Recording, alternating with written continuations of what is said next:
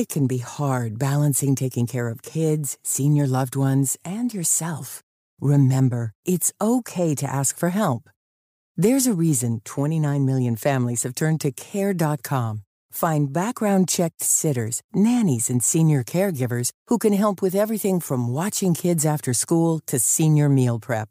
Whether you need full time, part time, or even occasional help, you can view rates and book highly rated caregivers that fit your budget and schedule.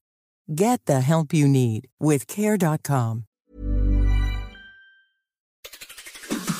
On today's Smart 7, Keir Starmer hits the road, Donald Trump has a meltdown, and much more. It's Thursday, 29th of August, it's Lemon Juice Day, and happy birthday, Liam Payne. The Smart 7. It's news, but not the news.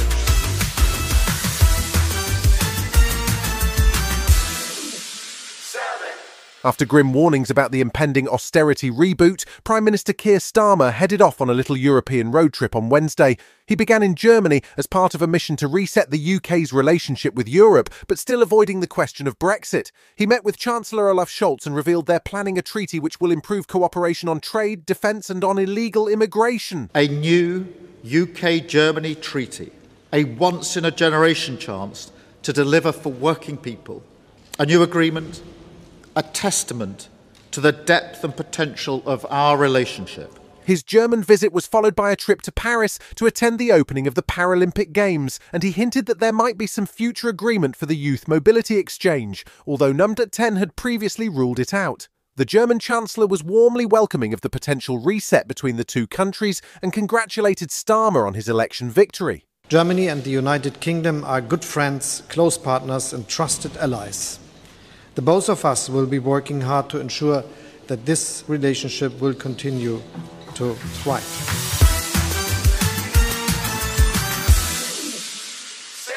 The grim warnings of hard times to come from Prime Minister Keir Starmer on Tuesday have brought the October budget into sharp focus.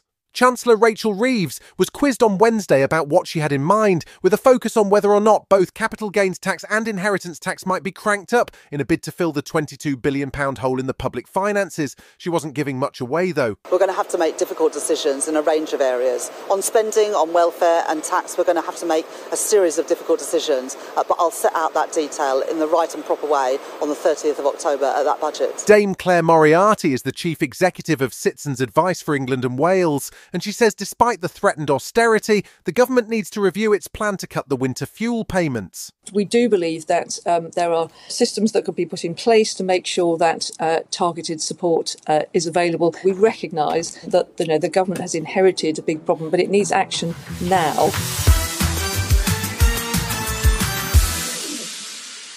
Donald Trump had a full on meltdown on social media on Wednesday evening, posting QAnon memes, which included demands that Barack Obama be tried by a military tribunal for unspecified crimes. He's furious that Special Prosecutor Jack Smith has lodged what is called a superseding injunction in the January 6th election interference case. Smith has trimmed down his case, removing any elements that would conflict with the Supreme Court immunity ruling, and is pushing for a speedy trial. Trump had hoped that his legal troubles might have been at an end after the Supreme Court intervention, but CNN legal analyst Norm Eisen says it's really important that Trump face justice for his actions around the 2020 election. Jack Smith, with a new superseding indictment less than 70 days away away from the election has reminded everybody Donald Trump is alleged to have engaged in very serious 2020 election interference.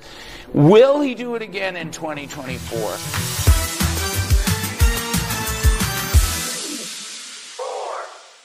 Ukraine continued to strike long range targets in Russia on Wednesday, hitting oil depots in Kirov and Rostov. They also continued their incursion in Russia's Kursk region, as the CIA director suggested that Ukrainian forces are now building defences and appear to intend holding on to the territory gained.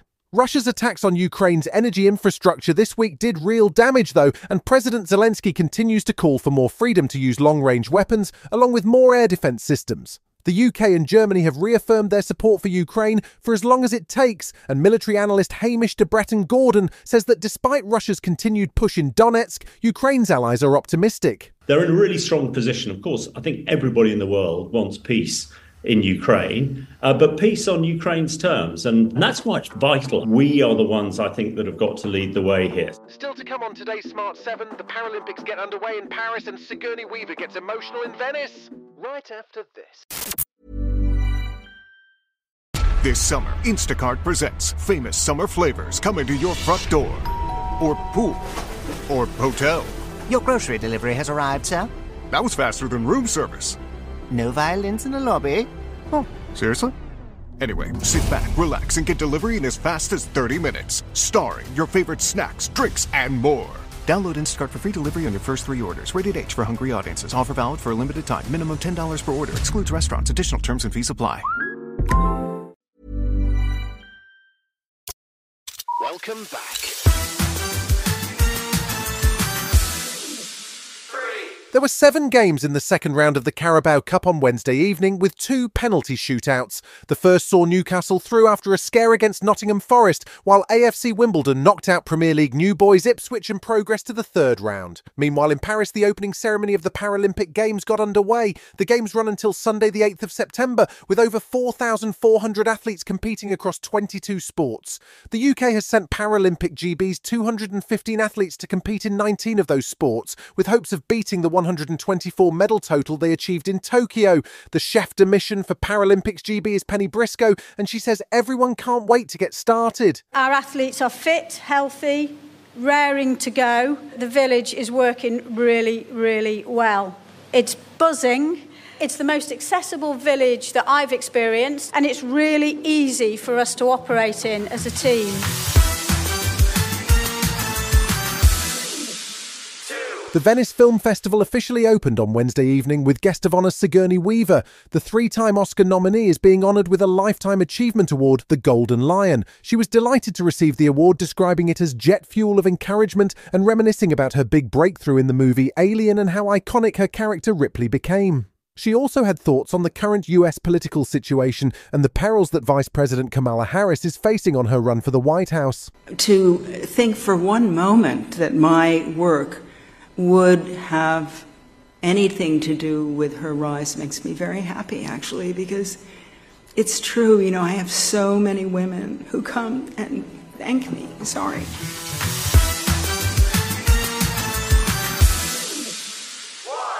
You might never have heard of the 6888, but it's a fascinating story. It's a new movie from director Tyler Perry, and it follows the story of US Army Corps Battalion 6888, who served overseas during World War II.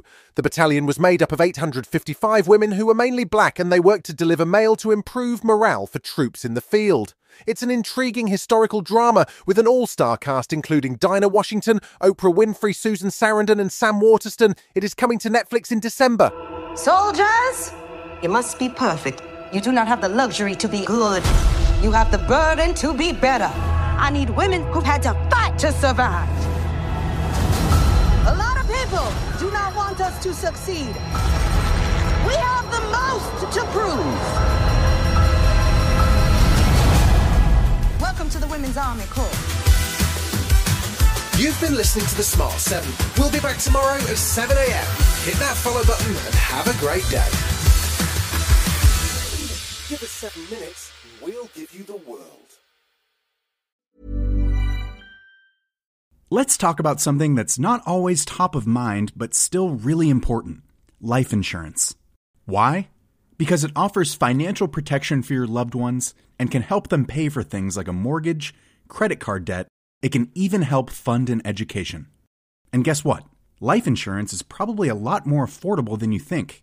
In fact, most people think life insurance is three times more expensive than it is. So, with State Farm Life Insurance, you can protect your loved ones without breaking the bank. Not sure where to start? State Farm has over 19,000 local agents that can help you choose an option to fit your needs and budget. Get started today and contact a State Farm agent or go to statefarm.com.